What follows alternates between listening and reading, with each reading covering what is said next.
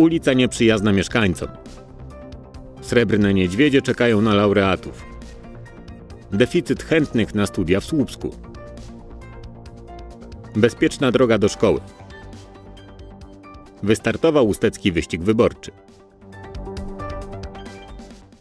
Mieszkańcy ulicy Klonowej chcą zmiany organizacji ruchu. Twierdzą, że ich ulica jest wąska i niebezpieczna. Na skraju jezdni rosną okazałe dęby, brakuje chodnika, a większość aut nie przestrzega ograniczenia prędkości do 40 km na godzinę. Na ulicy Klonowej dochodziło już do wypadków. Ofiarą jednego z nich był mieszkaniec Dariusz Melaniuk. Zostałem potrącony przez samochód. y, Przyjechała policja i stwierdziła, iż y, wina jest obopólna kierowcy, który nie zachował ostrożności w mijaniu pieszego, jak i wina określona została jako moja y, z tego powodu, iż nie ustąpiłem ponoć pierwszeństwa y, pojazdom, które powinny y, mieć pierwszeństwo na tej jezdni. Ponoć tutaj człowiek pieszy jest intruzem. Mieszkańcy wielokrotnie zgłaszali sprawę do władz miasta. Urzędnicy rozumieją problem mieszkańców, ale zawsze na przebudowę ulicy brakowało pieniędzy. Niedawno powstał nowy plan i jest szansa, że ulica Klonowa będzie bezpieczniejsza. Mam nadzieję, że jeżeli jest już projekt, to znajdą się pieniądze, żeby mieszkańcy ulicy Klonowej w końcu poczuli się bezpiecznie. Bo dla przypomnienia tutaj też jest e, blisko przedszkole muzyczne, więc e, no, chociażby też z tego powodu e, warto tu wprowadzić środki bezpieczeństwa. Główne zmiany mają polegać na ustawieniu tzw. szykan. Mają one wymusić spowolnienie ruchu. Na całej długości ulicy Klonowej ma obowiązywać znak informujący o strefie zamieszkałej. Dzięki temu z racji braku chodnika piesi będą mogli poruszać się jezdnią. Rusza kolejna edycja prestiżowego konkursu Lider Promocji Słupskiej Gospodarki Srebrny Niedźwiedź. Celem konkursu jest uhonorowanie statuetką Srebrnego Niedźwiedzia przedsiębiorców najbardziej zaangażowanych w rozwój i promocję gospodarki na ziemi słupskiej. W konkursie udział wziąć mogą podmioty gospodarcze, które mają siedzibę lub prowadzą działalność gospodarczą na terenie miasta Słupska, powiatu słupskiego, powiatu bytowskiego, powiatu lęborskiego oraz powiatu sławieńskiego. Organizatorami konkursu są Powiat Słupski, Miasto Słupsk, Pomorska Agencja Rozwoju Regionalnego SA w Słupsku, Rada Regionalna NOT w Słupsku, Słupska Izba Przemysłowo-Handlowa. Do 10 września zachęcamy przedsiębiorstwa, do 10 września składali swoje e, aplikacje w konkursie Lider Promocji Słupskiej Gospodarki Srebrny Niedźwiedź, Niedźwiedź 2014. E, Tradycyjnie wybieramy e, najlepszych w pięciu kategoriach, czyli w kategorii innowacyjny produkt lub usługa, ekoprodukt lub usługa, najlepszy menedżer, najlepsza przedsięwzięcie inwestycyjne, bądź też najlepsza, najlepsze przedsięwzięcie związane z branżą agroturystyczną. Tak jak mówiłem, do 10 września można składać swoje aplikacje, formularz zgłoszeniowy oraz regulamin konkursu dostępne są na stronie www.słupsk.pl, a także na stronach Starostwa Powiatowego w Słupsku. E, Wnioski przyjmuje Starostwo Powiatowe Słupsk.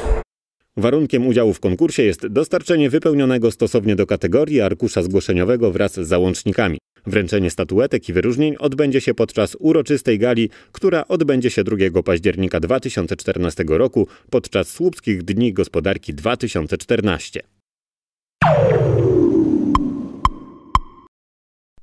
Tak niskiego zainteresowania studiami w Słupsku nie było już od dawna. Na pierwszym roku w murach Akademii Pomorskiej chce studiować zaledwie 600 osób.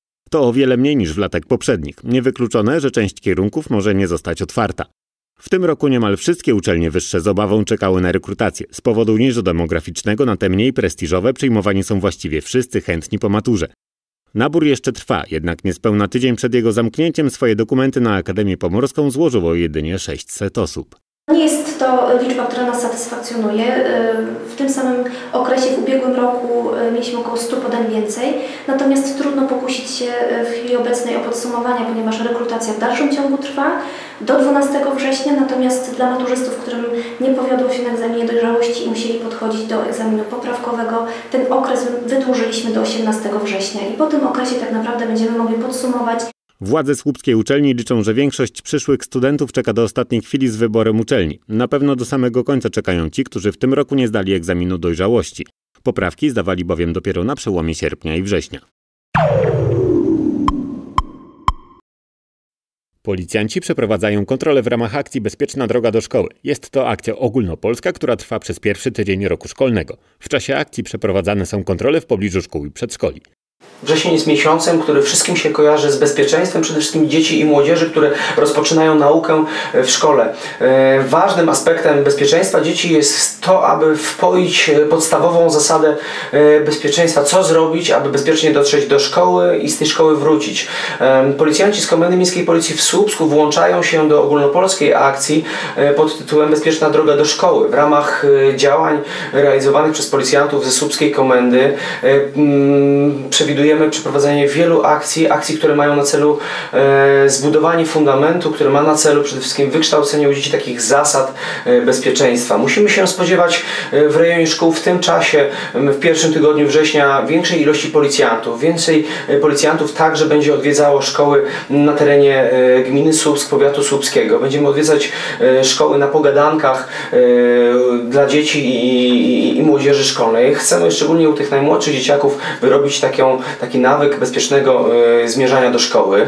Y, działania policjantów mają na celu przede wszystkim ograniczenie zdarzeń drogowych, które y, mogłyby mieć miejsce w rejonie szkół. Chcemy przede wszystkim sprawdzić, jak wygląda sprawa mm, oznakowania dróg, które mm, znajdują się w pobliżu szkół. Chcemy sprawdzić znaki drogowe, czy są widoczne dla kierowców, czy są widoczne dla pieszych. Będziemy sprawdzać także sygnalizatory świetlne, czy odpowiednio działają i czy poprawnie ta sygnalizacja funkcjonuje funkcjonuje. E, policjanci będą spotykać się z dziećmi na pogadankach w szkołach, będziemy mówić o, o tym, jak przechodzić przez przejście dla pieszych, będą się odbywały zajęcia praktyczne, dzieci także otrzymają odblaski. Chcemy zachęcać dzieci, aby e, używały tych odblasków, ale także, e, aby wpływały na swoich rodziców, którzy będą z tymi dziećmi wędrowali do szkoły.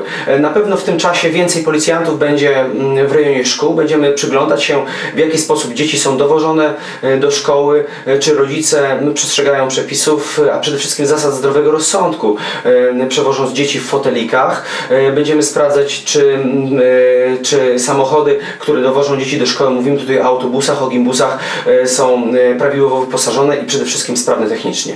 Praca policji w trakcie akcji przynosi efekty, co potwierdzają statystyki. Dlatego tak ważne jest uświadamianie dzieci i młodzieży o zagrożeniach związanych z wypadkami komunikacyjnymi w drodze do i ze szkoły.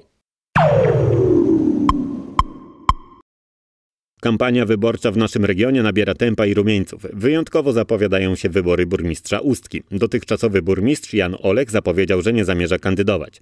Jan Olech nie ukrywa, że na jego decyzję miała wpływ deklaracja znanego biznesmena Jerzego Malka, który podczas sesji Rady Miasta stwierdził, że jeśli burmistrz nie będzie kandydował, on umorzy Ustce 5 z 11 milionów długu. Tyle miasto musi zwrócić jego spółce. Obecny burmistrz dodał, że już podczas poprzedniej kampanii wyborczej deklarował, że będzie kurortem rządził jedynie dwie kadencje. Druga właśnie dobiega końca.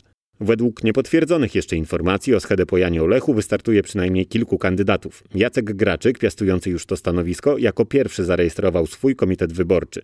Drugim komitetem, który został zarejestrowany w biurze wyborczym jest Przebudź się Ustko. Na razie nie wiadomo, kto wchodzi w skład tej grupy. Zgodnie z decyzją premiera wybory samorządowe zaplanowane zostały na dzień 16 listopada. Wybierać będziemy burmistrza oraz 15 radnych miejskich i trzech powiatowych. Komitety wyborcze do 8 września mają czas na zgłoszenie w Krajowym Biurze Wyborczym. Listy kandydatów trzeba zgłosić do 7 października.